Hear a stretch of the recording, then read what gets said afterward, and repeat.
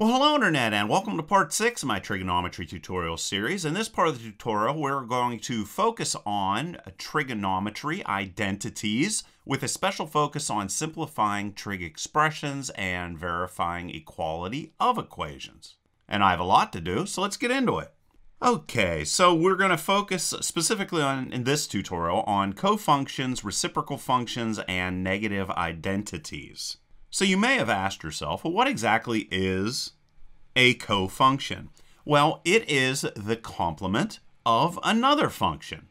So sine and cosine are cofunctions, as are tangents and cotangents, secant and cosecant. And what I want to do here is I want to use an example from a previous tutorial. Now, just as a review here, if we have a 30, 60, 90 triangle and a hypotenuse of length 6, how do we find S over here? See if you remember. S is equal to 1 half of whatever the hypotenuse is, which, of course, equals 3. Likewise, what's F equal to? Well, F is equal to the square root of 3h over 2 which is approximately equal to 5.19. Now we know that angles in a triangle add up to 180. Now let's see what happens whenever we take our 30 and 60 degree angles here and apply them with sine. So the sine of 30 degrees is going to be equal to 1 half. And what is the cosine of 60 degrees? It's also 1 half. Now, something else to know is that all of the following are true.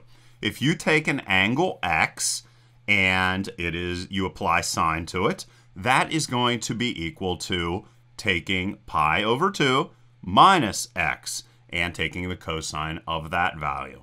Now, remember I said in the beginning, this part of the course is going to focus a lot on simplifying trig expressions and verifying equality. Well, knowing this information is going to be extremely valuable whenever it comes to actually doing so. And just to verify that these are indeed true, if I take the sine of pi over 4, which is the same as 45 degrees, that's going to be equal to approximately 0.707. Now if I take the cosine of pi over 2 minus pi over 4, well, that's going to leave us with pi over 4. And likewise, that is also going to be equal to 0.707. Likewise, the same is going to be true if we have tangent. And this is, I'm just using pi over 4. You can use this with any angle. This is going to be equal to 1.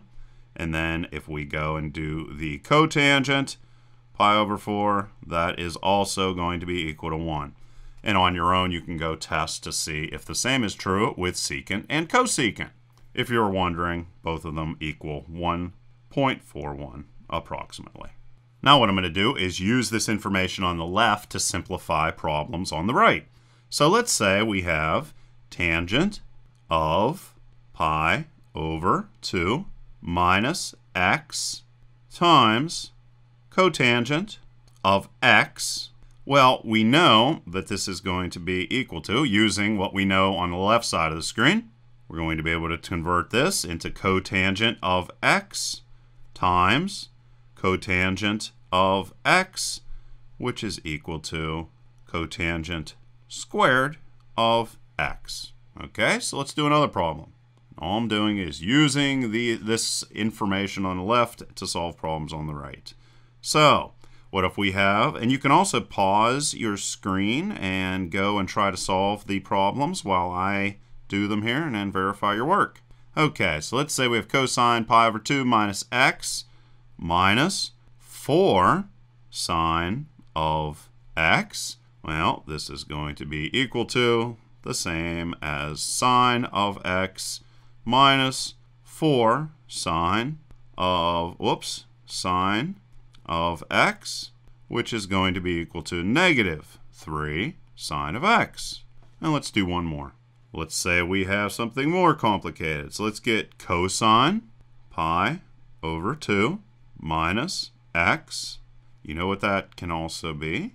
Divided by sine of x Well, this is also going to be equal to sine of x over sine of x, which is equal to 1. So you can see how this little bit of knowledge is going to make it very easy for us to simplify future problems. And that brings us to some reciprocal functions. Here are reciprocal functions, and yes, you're just going to have to memorize them. They're not that hard, though. Now what I want to do, and it just, you know, means that the items on the left are equal to the items on the right, okay? Not that complicated. And I also threw in what we had covered previously about how tangents and cotangents relate to sine and cosine. So let's solve a problem. So let's say we have sine pi over 2 minus x. I think you know what that is also equal to. And we subtract from it 2 secant x. Well, this is going to, of course, be equal to cosine of x, if you remember from what we just did, and then minus 2 secant x. But we can also come in here and simplify this down to just secant x minus 2 secant x. And of course, that's going to end up being equal to negative secant x. All right, let's do a couple more problems. All right, so we're got, we're basically covering two new concepts. So I want to give you a whole bunch of problems so that you will understand how to do them multiple times in multiple different ways. Okay, so as I said, we're going to be able to convert our cotangent into cosine of x over the sine of x, and the cosecant is going to be, be equal to 1 over sine of x. And of course, we can go and add these together to simplify this down to cosine of x plus 1. And you might want to put parentheses around this over sine of x. All right? And eh, do a couple more.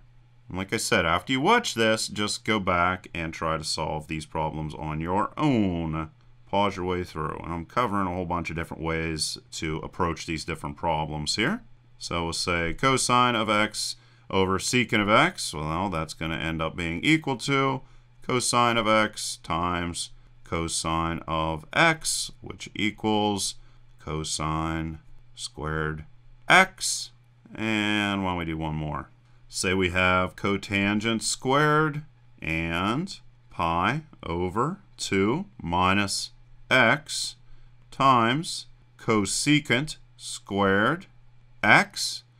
Well, this is also going to be equal to tangent squared x times cosecant squared x, which is going to be the, equal to sine squared x over cosine squared x times 1 over sine squared x, and these simplify down to 1 over cosine squared x.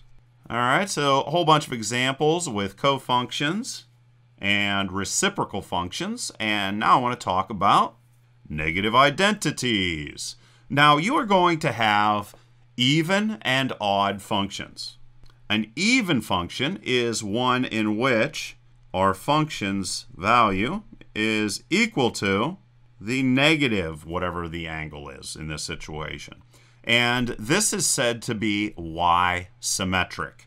Now, examples of even functions in trigonometry cosine of x is equal to the cosine of negative x. And if you don't believe me, you can go plug into a calculator. Cosine pi over 4 is equal to approximately 0.707. And guess what? Cosine of negative pi over 4 is also equal to 0.707. Another even function in trigonometry is secant. Secant of x is equivalent to secant of negative x. And you can go work that out on your own. We also have odd functions, and odd functions are pretty much everything else. And odd functions are origin symmetric, And the way they work is if you have negative x for your angle, that's going to be equal to negative the function x, like this. And like I said, you can see here that sine meets that, as well as tangent, cosecant, and cotangent. So why don't we take all of this knowledge that we just learned so far in this video and solve some problems utilizing all of it. So let's say we have cosine of negative x times the secant of negative x, and we want to simplify this. Well, this can be converted to cosine of x because those are equivalent times, and secant can be converted into 1 over cosine of x, which of course if you multiply those together you get a value of 1. Let's do a verification problem. Let's say that we want to verify that sine of negative x times the cotangent of negative x is equal to the cosine of x. Well, how do we do that? Well, we can convert this to negative sine of x times negative cotangent of x. This then can be converted to sine of x times the cosine of x over the sine of x, which can be converted into just simply cosine whenever these cancel out. All right, so there you go. Let's do another problem.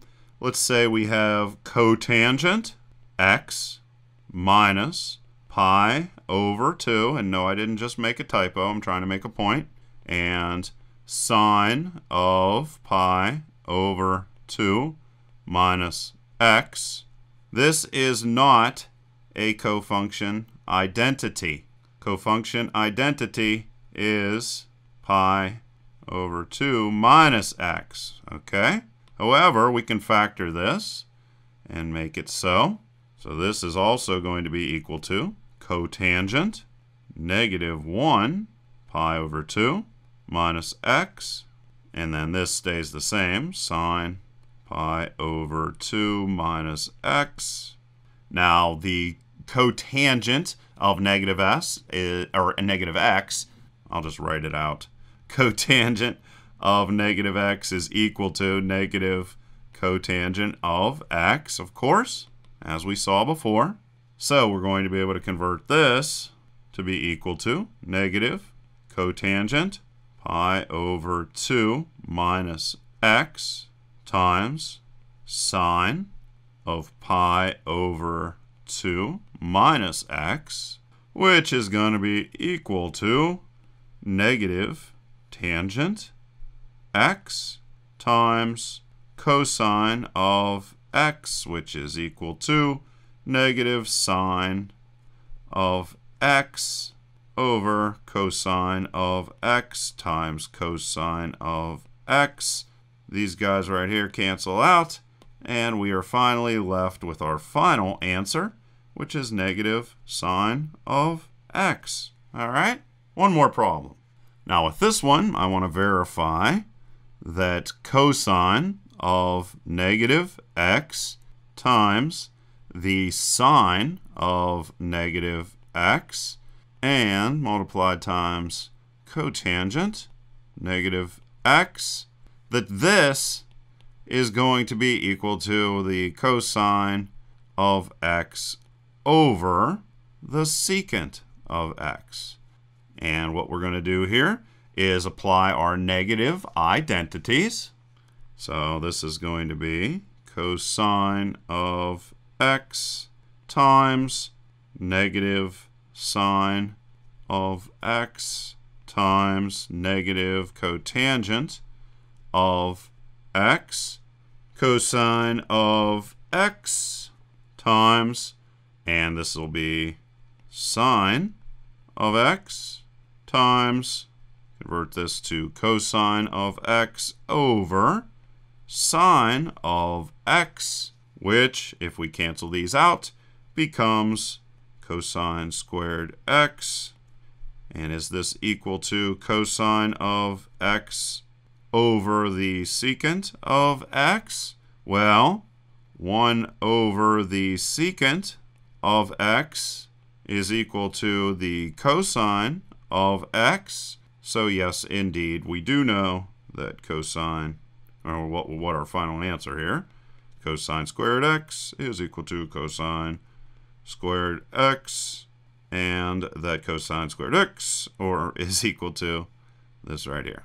Alrighty, so there you go, rundown of many trigonometry identities and more coming up. We're going to get more and more advanced. And as you can see here, trigonometry is starting to look more like algebra instead of like geometry. And like always, please leave your questions and comments down below. Otherwise, till next time.